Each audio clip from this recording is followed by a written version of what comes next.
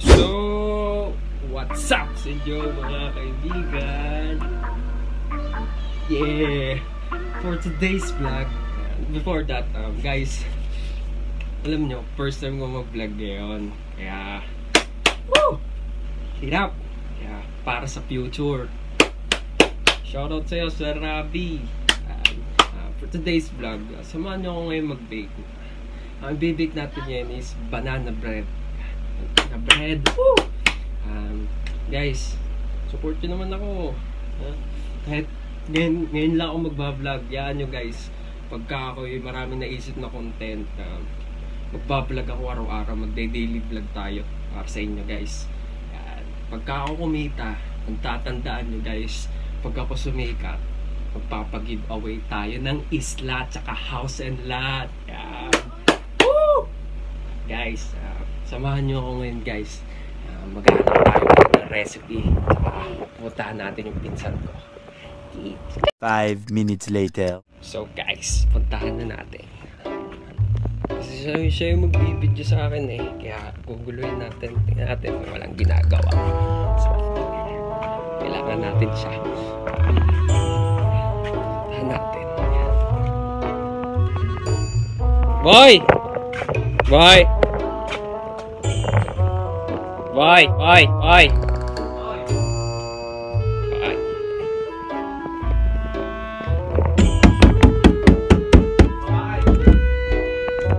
Oh, video. Sige, sige. Gigi, gigi. Let's get it. Skirt. Back in it again, guys.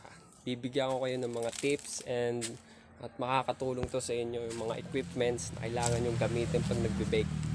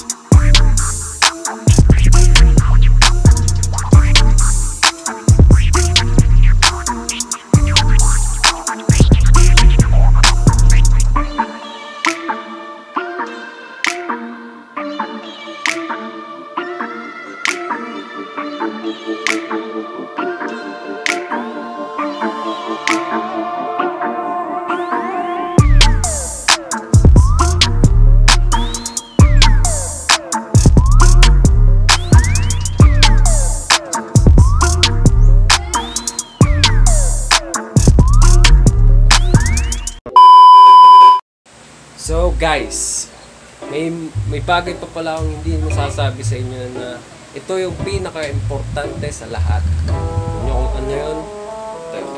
Yung sa hygiene. Yan, sa hygiene. Kasi sa hygiene natin guys, yung dapat kailangan malinis ang katawan mo. Unang-unang lalo na sa kuko. Yan, sa kuko dapat. Kasi kung ano-ano yung mga nahawakan nyo, kinakapitan nyo, syempre minsan dum- dumidikit sa, pumapasok din sa loob.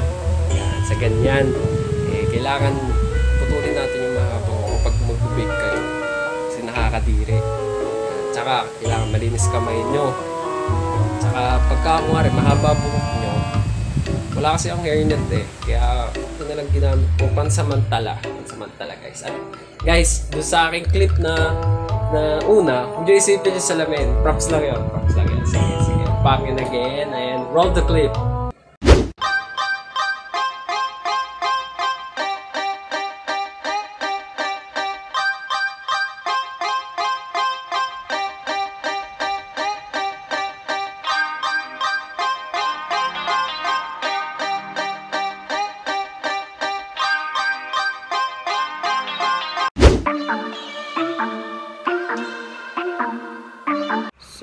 Guys, sunod naman natin gagawin is procedure. Kung paano natin gagawin ang ating banana bread. Roll the clip.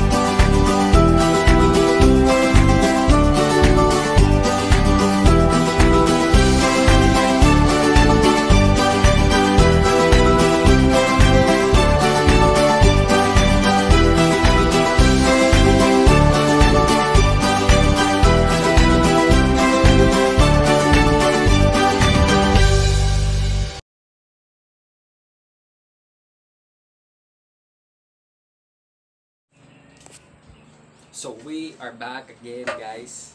Babalik ulit tayo. Um, tapos nating na bake na natin lahat, nailagay na natin na ingredients. So, ilalagay na lang natin sa oven.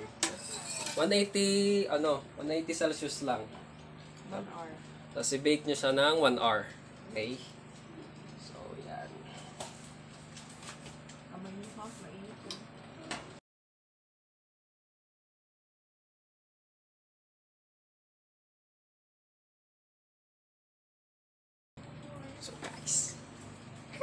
One hour later.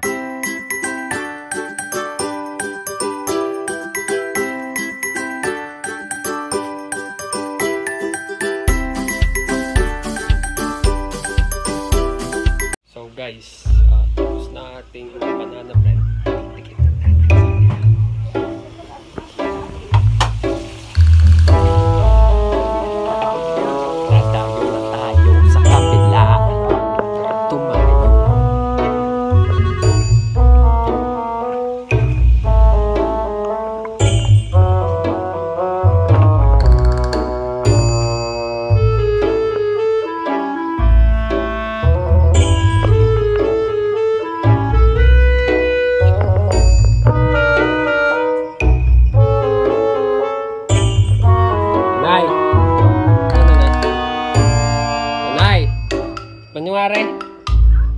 ಸಂಗಾಯ